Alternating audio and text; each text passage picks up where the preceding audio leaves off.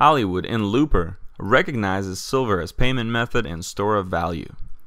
I just came back from seeing Rian Johnson's latest movie Looper, starring Joseph Gordon-Levitt, Bruce Willis, Emily Blunt, and my favorite metal of all time, Silver, in a supporting role. That's right, Silver plays a minor but very critical role in this flick. But before I go on, please let me warn you that although I won't be blurting out spoilers, I will be describing some of the scenes. Therefore, if you wish to have a completely unspoiled viewing experience, please watch the movie and then come back here. From IMDb In 2072, when the mob wants to get rid of someone, the target is sent 30 years into the past, where a hired gun awaits. Someone like Joe, who one day learns the mob wants to close the loop by transporting back Joe's future self. Obviously, this is a science fiction flick, although it has great underlying meaning and little less action than I expected. There are long conversation and character development scenes devoid of gunfire and explosions, so once in a while it felt a little like I was watching a director's cut. But I digress. First, let me start by asking you to guess how these hired guns got paid by the bosses from the future. In silver, I believe they used 50 ounce bars with unique QR code like engraving this is the main reason for silver even being in the movie, as a form of payment for services rendered. You may not think this is anything, but I believe the symbolism of this directorial choice is huge. There's only one time you see paper currency in the movie, in the montage of the main character's life in China. He's shown blowing through an entire box full of futuristic renminbis. I'm sure the director wasn't really going for anything here, but of course, I see the symbolism everywhere, including this scene. While the hard store of wealth is locked in a vault to represent the lasting riches, paper is being spent left and right. I also spotted a fun subpoint related to China. There's a scene in which the protagonists discuss their next move. One of them wants to go to France, the other one insists on going to Beijing. The director spent extra time on this scene to make sure the point was driven home. In the next 30 years, you want to be in China, not Europe.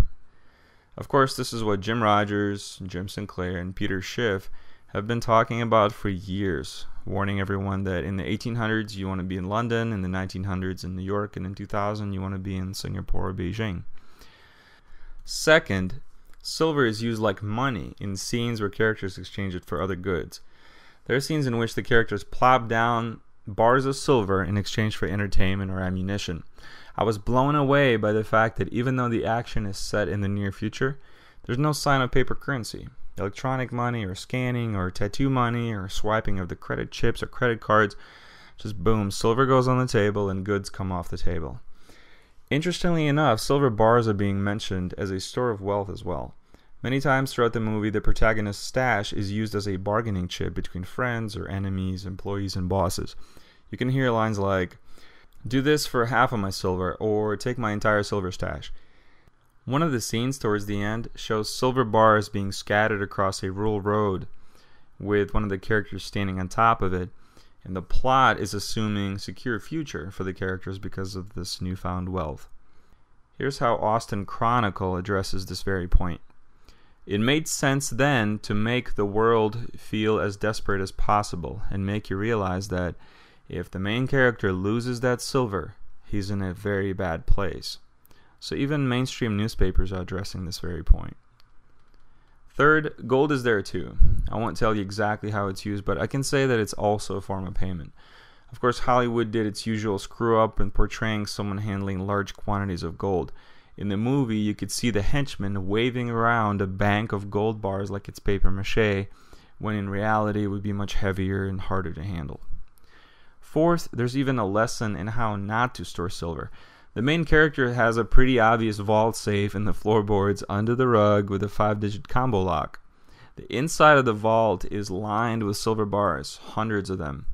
Hey, at least he didn't keep the money in an ETF or offshore storage facility or in a bank. The moral here is clear. If he just separated his stash like we all know, he'd be able to access portions of it while he was on the run. Instead, the bad guys walked through the doors, went straight for the safe, and unloaded it.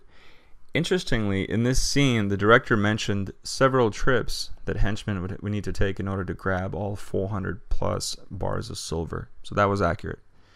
Fifth, the future is apparently full of guys who lost faith in fiat currency, but also somehow discovered another Comstock lode. The amount of silver being used is pretty amazing. If the main character sat on around 500 bars after saving about half of all his income, this means that he banked around 1,050 ounce bars of silver for a combined total of 50,000 ounces or 1.7 million in today's dollars. If every looper, one of these hired assassins, was being paid in 50 ounce silver bars, that would actually put a small dent into today's physical markets. And finally, the most important point I carried out of the movie theater is that silver is entering our collective consciousness. Little by little, like raindrops forming into a flood, silver is increasingly being used as money in popular culture. This movie being just the latest example. Since deep down we're still using our reptilian brains that are susceptible to fight or flight responses and repetition, I feel like if the pop culture keeps hammering the point that silver is money, it will soon reach its critical mass and Joe Sixpack will one day want to buy your used car with silver because he saw it in a movie and his friend did the same. So big and major props to the director Rian Johnson and the cast of Looper. Everyone did an amazing job and this silver bug is very happy. Looper is in theaters now. Go see it. It's a great movie. And see for yourself the role Silver plays in this most recent example of Hollywood pop culture.